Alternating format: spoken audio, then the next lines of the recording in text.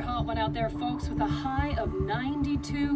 Whew, get your sunscreen on. Thanks, Diane. In local news, a drug bust last night, carried out by Detective Tyler Burke, claimed the life of George Fremont, a man with alleged links to organized crime.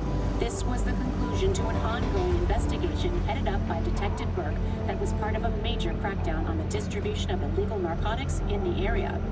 In a press conference, Police Chief Kepler praised his department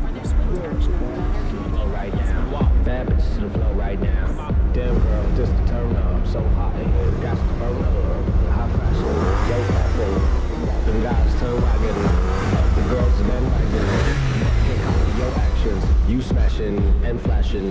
They just simply rehashing. Uh, y'all ready to walk? Y'all ready to walk? I, I know just what you like. I know your appetite.